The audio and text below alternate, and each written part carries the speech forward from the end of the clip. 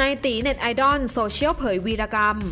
นายตี๋เน็ตไอดอลชื่อดังโดนแฉทิ้งเมียที่ตั้งท้อง 7 เดือนไปหากิ๊ก ช้ำกว่าเดิม เมื่อรู้ว่าวันแต่งงานก็พากิ๊กมาด้วย พร้อมร้องเพลงโอบเอวไม่เห็นหัวเจ้าสาวกลายเป็นเรื่องราวในโลกโซเชียลที่คนพูดถึงเป็นอย่างมากสำหรับนายตี๋เน็ตไอดอลชื่อดัง ที่ถูกเพจดังออกมาแฉทิ้งเมียท้อง 7 เดือนไปอยู่กับกิ๊ก โดยเพจนางลมคัมแบ็กเผยว่าเน็ตไอดอลผู้ชายต่อเต่าคนติดตามเยอะ ชอบโพสต์คำคมเข้าใจผู้หญิงสารพัดแต่กับเมียที่ท้องไม่เข้าใจอะไรเลยสักอย่าง 1. คบกับผู้หญิงคนหนึ่งทำเขาท้อง ตอนเมียท้องก็เที่ยวทุกวัน พอเมียงี่เง่าอารมณ์คนท้อง ดันไม่เข้าใจเมีย ด่าทำร้ายร่างกาย แต่โพสต์คำคมด่าผู้ชายให้เข้าใจผู้หญิงท้อง 2. จัดงานแต่งงานได้เชิญเพื่อนสาวคนสนิทที่ชื่อว่าก้าวไปร่วมงาน และถ่ายรูป 3 คน แต่ที่มันสนุกคือคอมเมนต์ผู้ชายที่เมนรูปว่า แต่งงานกับบะหมี่แต่อยากมีอะไรกับก้าวเจ้าสาวยืนซ้ายเจ้าบ่าวยืนกลาง เพื่อนคนสนิทยืนขวา และมือเจ้าบ่าวจับก้นเพื่อนสาวคนสนิท อีกทั้งเมนว่า ดูแค่นี้ก็รู้แล้วว่ารักใคร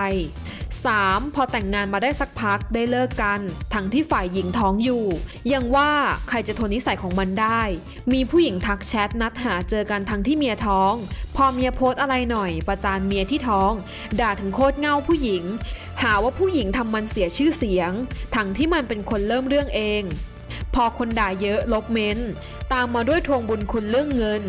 พร้อมทั้งประจานเมีย เรื่องที่เมียแจ้งค่าใช้จ่ายการฝากท้องทำคลอด แต่พอคนทักแชทมาขอเงินโอนให้ไว ทีกับเมียและลูกไม่เคยสนใจ 4. และล่าสุดเมียเก่าเห็นเพื่อนสาวคนสนิท ลงรูปแชทที่ผู้ชายบอกว่าก้าวสำคัญที่สุดในชีวิต และลูกที่กำลังจะเกิดไม่สำคัญหรือยังไง และได้ทักแชทไปหาเมียเก่าว่า จะทำให้มันเสียชื่อเสียงหรอ โดยฝ่ายภรรยารับไม่ได้รับไม่ได้ที่สามีวิดีโอคอลกับสาวก้าวทุกคืน จนเกิดมีปากเสียง พอกลับไปอยู่บ้านแม่ เพื่อหลีกเลี่ยงปัญหา พอกลับมาจึงรู้ว่าสามีได้ย้ายไปอยู่กับสาวก้าวมีการโอนเงินให้พูดคุยสนิทสนม พร้อมกับบอกสาวก้าวคือคนสำคัญที่สุด พอฝ่ายภรรยารู้ จึงไม่ขอทนอีกต่อไป